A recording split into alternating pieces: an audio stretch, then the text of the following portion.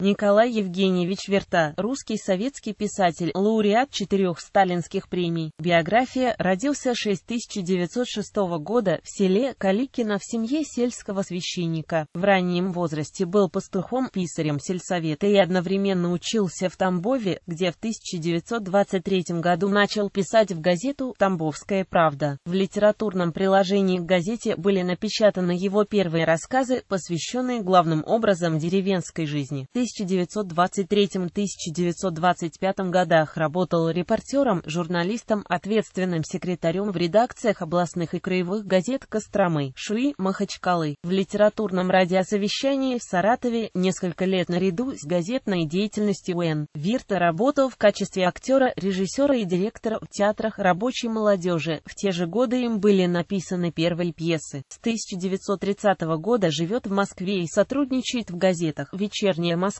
«Труд», «Электрозавод» и в одной из газет, строившейся тогда первой очереди метро. Известность получил благодаря роману о так называемом Антоновском восстании «Одиночество», который переработал в пьесу «Земля». Во время Советско-финской войны 1939-1940 годов и Великой Отечественной войны Николай Вирта был военным корреспондентом газеты «Правда», «Известия» и «Красная звезда», работал в Совинформбюро, члена СПС СССР, был трижды женат, от первого брака остались сын и дочь. Дочь Татьяна Николаевна Вирта, литератор, жена физико-теоретика Юэм Кагана, умер 3 января 1976 года. Похоронен на Переделкинском кладбище. Библию в 1943 году в СССР было разрешено издать Библию. Специальным цензором издания был назначен Николай Вирта. В результате проверки как Ветхого, так и Нового Заветов Николай Евгеньевич не обнаружил в них отклонений от коммунистической идеологии утвердил к печати без каких-либо изменений. По некоторым данным, за эту услугу он получил от РПЦ 500 тысяч рублей. Скандал 28 апреля 1954 года Вирта вместе с тремя другими писателями был исключен из СПССР. Его обвиняли в том, что на своей подмосковной даче он вел привилегированный образ жизни, восстановлен в СПССР в 1956 году. Творчество. В своем творчестве Вирта всегда твердо держался партийной линии, разоблачал троцкийскую оппозицию, боролся с безродным космополитизмом, пропагандировал культ личности, считается одним из показательных представителей так называемой теории бесконфликтности из воспоминаний о финской войне Шварц Е. Эл позвонки минувших дней М. Вагриус 2008 С254 Романы повести роман «Одиночество», роман «Закономерность», роман «Вечерний звон», повесть «Крутые горки», роман «Степь да степь кругом», роман «Возвращенная земля», роман «Быстробегущие дни», повесть «Катастрофа», повесть «Призрак покидает зеленый холм», пьесы «Земля», «Заговор», «Клевета», «Мой друг полковник», «Солдаты Сталинграда», «Великие дни», «Хлеб наш насущный», «Заговор обреченных» три года спустя, далее неоглядный, по мотивам романа «Крутые горки», «Летом небо высокое», «Три камня веры», киносценарий «Сталинградская битва», «Заговор обреченных», «Одиночество», «Признание награды», «Сталинская